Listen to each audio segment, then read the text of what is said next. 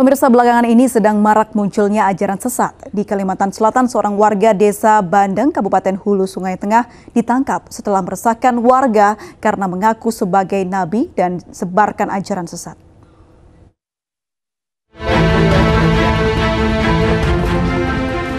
Penyidik Polres Hulu Sungai Tengah menetapkan Nasruddin sebagai tersangka penyebaran ajaran sesat. Penetapan tersebut setelah polisi melakukan pemeriksaan saksi dan barang bukti yang ditemukan di rumah tersangka. Nasruddin warga desa Bandang Kabupaten Hulu Sungai Tengah Kalimantan Selatan mengaku sebagai nabi terakhir.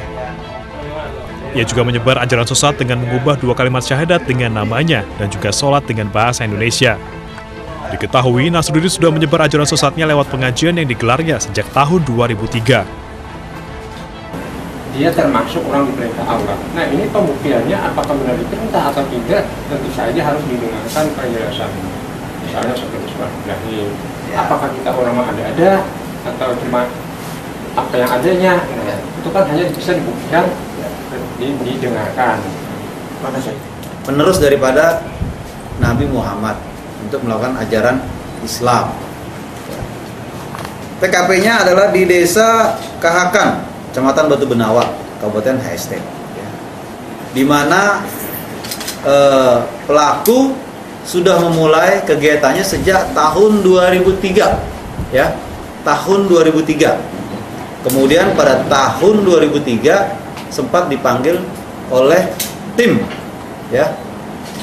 Tim dari Pakem ya Kejaksaan dan MUI pemerintahan daerah juga pernah dilakukan mediasi saat itu. Sebelumnya, kepolisian menggeledah kediaman Nasruddin Senin kemarin. Dari hasil penggeledahan, polisi mengamankan sejumlah kitab, printer, laptop, serta kertas yang digunakan untuk mencetak selebaran dan dibagikan khusus untuk jemaah Nasruddin. Dari Hulu Sungai Tengah, Kalimantan Selatan, Denny M. Yunus, iNews melaporkan.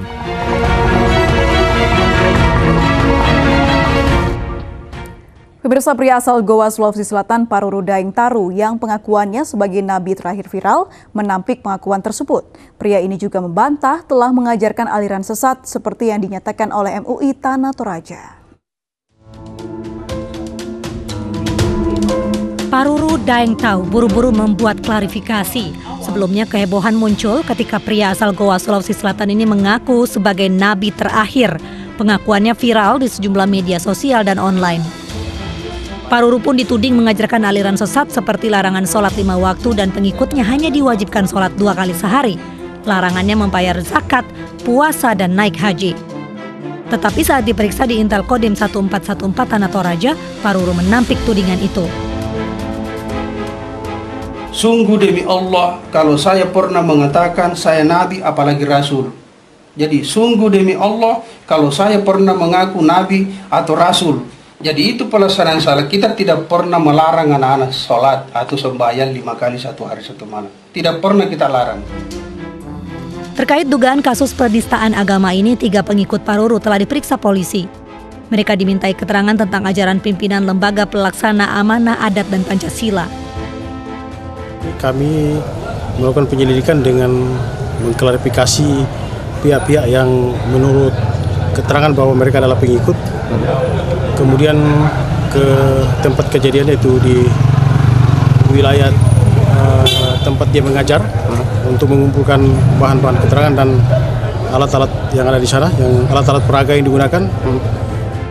Polisi masih mengumpulkan bukti dan keterangan saksi untuk menyelidiki kasus atas laporan MUI Tanah Toraja ini. Status terhadap Paruru juga belum ditetapkan. Dari Tanah Toraja, Sulawesi Selatan, Jufri Tonapa, iNews melaporkan.